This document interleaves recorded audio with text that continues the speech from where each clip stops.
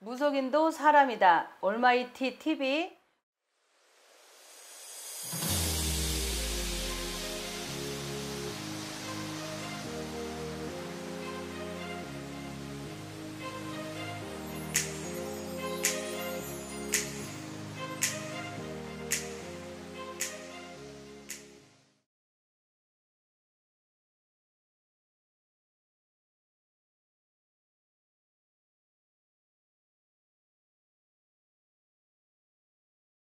어느 여자분이 이렇게 신병을 앓고 계셨어요. 근데 그분 집안이 시댁 뿌리가 굉장히 좀 대단한 집안이에요. 그러다 보니 아, 무당은 만들 수가 없다 해서 어, 정신병원에 데려다 줬습니다.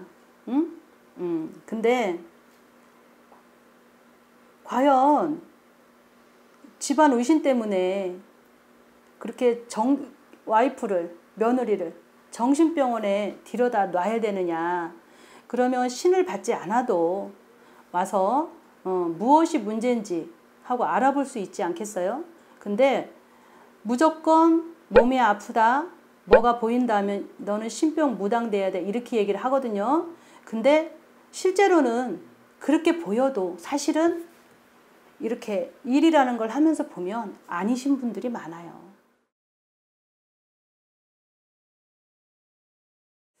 글쎄 그런 것 같아요. 어, 제가 어, 악기를 직접 보지는 않았어요. 직접 보지는 않았는데 제가 예를 들어서 예전에 그 산에 가서 치성을 드리는 중에 예? 어, 어떤 여자분이 그러니까 일하시는 분 제같이 징을 두들기고 우리가 징 소리가 나면 상상을 해보세요. 그냥 승자리에서 뒤로 머리가 반 이상이 꺾어 넘어가는 거 상상되세요? 안 되시죠? 근데 본인이 소리 질러요. 나 좀 도와주세요. 도와주세요 하면서 머리가 뒤로 넘어갑니다. 반 이상. 근데 중요한 게 안 쓰러져요. 안 쓰러져요. 낙골당? 음, 그런데 접수 받는 뭐 이런 걸 하고 그곳에서 버려진 물건이나 뭐 이런 것들을 집에 많이 가져오고 그리고 또 이렇게 귀신이나 이런 걸 잘 타는 사람이에요. 그러다 보니까 내 조상이 아니라 허주들이 많은 거야. 그러다 보니 괜히 남자만 보면 남자가 좋고 그 사람이 날 싫어하면 더 좋아하는 거야. 어? 어떤 짓을 해서라도 갖고 싶은 건 가져야 되는 거야.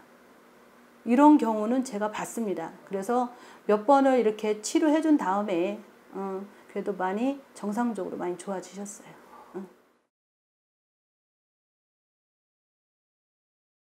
어. 어, 어느 남자분 사업하시는 분이었는데 그분이 어, 부동산 뭐 땅을 살 계획은 없으셨어요. 없으셨는데 어, 제가 점사를 보는 중에 어, 어느 땅이 보였습니다. 어느 땅이 보여서 어, 어디 어디께 어디 땅 어떻게 생긴 곳이다라고 했더니 알고 있었어요. 그래서 그 땅을 좀 본인이 좀 가지면 안 되겠느냐 이렇게 얘기를 했더니 그분이 아, 그 땅값이 지금 너무 올라서 제가 살 수 있는 그 이력이 안 된다고 이렇게 말씀을 하시더라고요. 근데 제가 볼 때 이상하게 살 수 있을 것 같았고 또 부동산 하는 쪽에 어떻게 어떻게 생기신 분이 이분을 찾아가면 이분이 정말 금액이고 뭐고 다 알아서 잘 해줄 것 같다. 그분을 찾아가 했더니 그분이 또 그분을 아시는 분이었어요. 예, 자기가 알고 있는 분이었어요. 그래서 거기를 찾아가서 얘기를 했답니다. 이렇게 해서 뭐 땅이 좀 있느냐 했더니 그 그러니까 노른자 땅이지. 노른자 땅의 중앙에 중앙 쪽에 조금 가격이 조금 내려가는 땅이 있었던 거예요. 그래서 그 땅을 사셨는데 그 땅이 지금은 굉장히 올라서 일을 안 하셔도 편안히 사실 수 있을 정도가 되셨어요. 얼마인지는 제가 기억이 안 나는데 어쨌든 굉장히 올랐어요. 이런 이런 시골 땅 자체 비슷한 그 가격이 혁신도시 이런 곳에 땅값이 오르듯이 이렇게 올랐어요. 예. 그래서 거기다 건물을 지으시고 그리고 거기서 생활하는 걸로 알고 있습니다. 예. 유튜브를 보시거나 또, 또 저희 법당에 이렇게 오시는 신도님들, 음, 제가 이번 촬영을 하면서 어, 최선을 다해서 어, 아주 굉장히 온갖 힘을 다 기울여서 열심히 예 해서 올렸습니다. 그러니 어, 제 말 한마디 한마디 힘을 얻으시고 어, 혹시라도 부족한 게 있으시면 연락 주세요.